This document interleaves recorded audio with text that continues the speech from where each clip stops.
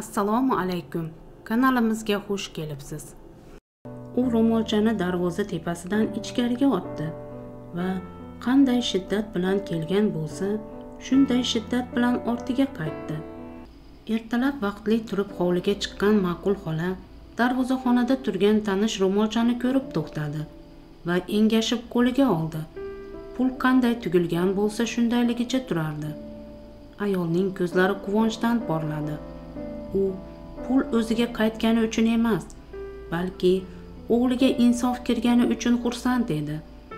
Aslida ma'qul xola telba bo'lsa-da buzoqning puliga mushuk oftobga chiqmasligini uy qurolmasligini yaxshi bilar.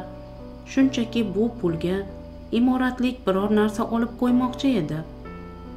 Bodom o'g'il tug'ibdi. Sanamdan bu xushxabarni eshitgan ma'qul xola yana bir nabiraga yetkazgani uchun allohga shukronalar aytib birdaniga kartoshka bilan tuxum qovurishga tushdi va sanamni bodomdan xabar olish uchun tug'ruqxonaga yubordi. O'zi sandig'ini titkilab beqasam mato topdi-da chaqaloqqa to'n tikishga tushdi. Bodom o'g'il ko'ribdi dedi uni tikish qilayotganini ko'rib ajablanib qolgan mehriga. Chaqaloqqa to'n tikyapman. To'n tikishni bilasizmi? So'radi mehri. Sen ham opang va akangga o'xshab onam jinnilikdan boshqa narsaga yaramaydi deb o'yladingmi? Bir paytlar qishloqning kattasidan tortib kichigigacha o'zim to'n tikib berganman. O'n barmog'im hunar edi. Kasal bo'lib qolganimdan so'ng bu ishlar yuragimni siqib tikmay qo'ydim. Ma'qul xola o'yga toldi. Mehri uning ko'zlari yoshlanganini sezdi. Ona ranjidingizmi men shunchaki so'ragan edim. Nega ranjirkanman? Sen meni tikish qilganimni ko'rmaganingdan keyin so'raysanda shunchaki bodom opangni sog'indim. Qizi tushmagur juda toshbag'ir chiqdida. Qorasini ko'rsatay demaydi. Sharlar qilishimga ham ko'nmadi. Shamsiddin meni yomon ko'rsayam oyog'ini uzmaydi. Kelib turadi. Uning vajohat bilan kelib vajohat bilan ketganiga ham shukur qilaman. Bodom esa xafa bo'lmang onasini yupatdi mehri. Uydagilar ruxsat berishmasa kerakda. Begunoh odamlarni ayblama. Ma'qul xola qizining gapini bo'ldi. Erga tegishidan oldin ham opangning fe'li shunaqa edi. Onamni ko'rib kelaman desa eri boshiga tegirmon toshi yuritmas.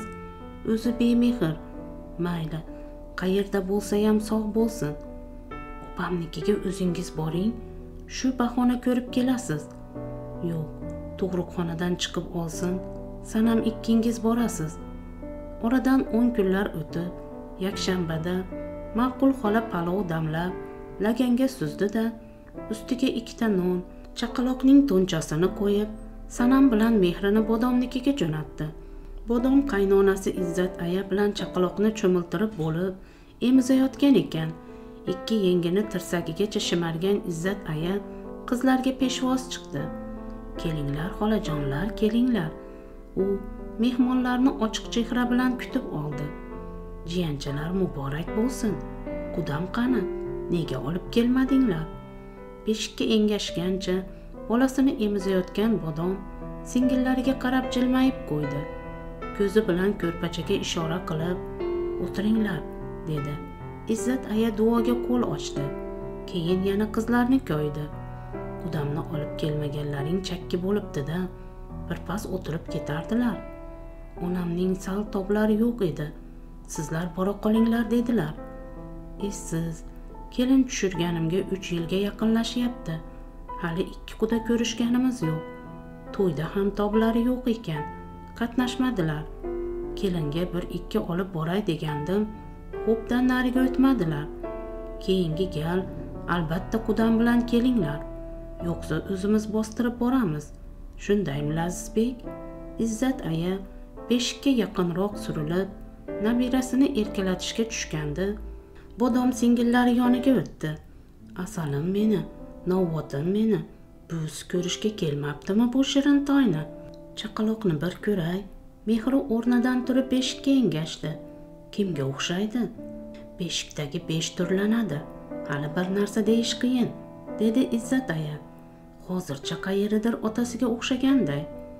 Izzat aya ochiq ko'ngil har narsaga qiziquvchan ayol ekan. Yana qizlarni savolga tutdi. O'qishlarini surishtirdi. G'aybiddinning ishiyu xayrullaning xizmatigacha so'radi. Shundan so'ng men hozir deb chiqib ketdi. Opa singillar yolg'iz qolishdi. Onam so'rab yubordilar. Mehri bodomga yuzlandi. Sizni juda sog'inibdilar. Qaynonasi aytdi deb yana onamni yetaklab kelma. Bodom onasining ahvolini so'rash o'rniga mehrining jig'iga tegdi. Onam sizni yeb qo'yadimi? Jahli chiqdi mehrining. Yegandan battar qiladi. Tuturuqsiz gaplari bilan sharmanda qiladi. Onamni olib keladigan bo'lsang sen ham kelma. Qaynonam nega buncha uni surishtirganini bilasanmi? Jinni deb eshitgan. Jinniligini o'z ko'zi bilan ko'rmoqchi. Keyin har gapida menga piching otadi. Qaynonangiz yomon ayolga o'xshamaydi opa. Gapga aralashdi sanam buni qaynonam bilan yashab ko'rsang bilasan. Suvilonu birovlarning oldida yaltoqlanadi. Hech kim bo'lmasa zahar. Ko'r ko'rni qorong'ida topadi. Qaynona kelin mos tushibsizlar. Jizg'irib gapirdi mehri.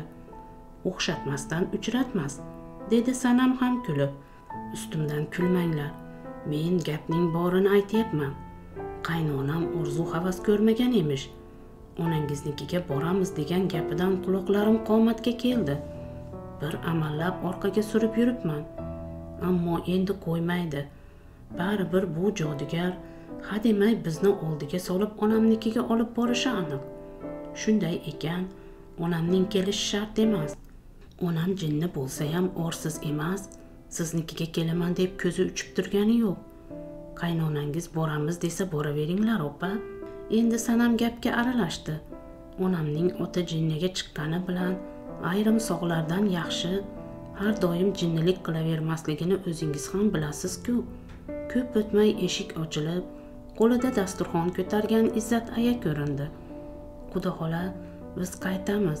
Dasturxonning keragi yo'q. Ovora bo'lmang dedi sanam. Ovorasi bormi?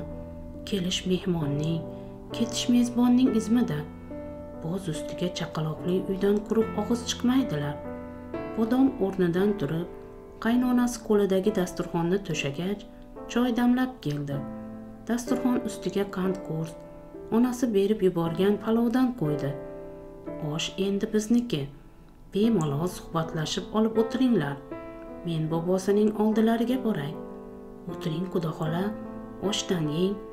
Sizlar bemalol men bobosining yonlariga boray. Izzat aya chiqib ketgach negadir gap gapga qovushmadi. Lazizbek uxlab qoldi. O'rtaga sovuq bir sukunat cho'kdi. Sanam bilan mehri dasturxondagi ne'matlardan cho'qilab o'tirishdi. Palovdan olinglar sovimasin singillariga mulozamat ko'rsatdi bodom uyda osh yegandik biz endi boraylik dedi sanam. Qaynonangizni chaqirsangiz dasturxonga duo o'qib berardilar.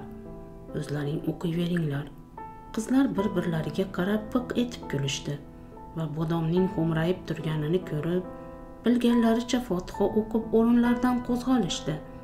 Gapim eslaringdan chiqmasin. Onamni olib kelmanglar. Chillamiz chiqsa o'zimiz boramiz. Opa to'ti qushday ha deb bir gapni takrorlayverasizmi? Mehri kelmaydilar deb aytdiku. Bo'ldida endi. Opa singillarning ketayotganini ko'rib izzat aya ularni bekatgacha kuzatib qo'ydi va qayta qayta tayinladi. Qudam albatta kelsinlar. Kutaman a xo'p dedi sanam. Aytamiz keladilar. Kelsin kelmasin kelsin kelmasin izzat aya uzoqlashgach mehri kinoya bilan gapirdi. Qaynonasi kelsin deydi kelini kelmasin deydi. Qaysi birining topshirig'ini bajaramiz endi opa? Bodomnikini-da deb javob berdi sanam. Onamga yuring desak ham kelmaydilar. Xohishlari bo'lsa shu paytgacha akamnikiga borardilar. Norxol yangam necha marta taklif qildilar? To'g'risini aytsam akamning xotini opamdan ming marta yaxshi onamga mehribon. To'g'ri aytasan opamning qaynonasi ham yaxshi ayolga o'xshaydi dedi mehri avtobusda ketisharkan. Lekin o'zi nega bunaqa? Qaynonasiga ham allaqachon laqab qo'yib olibdi. Jodugar emish onasiga nima karomat ko'rsatdiki qaynonasiga ko'rsatadi.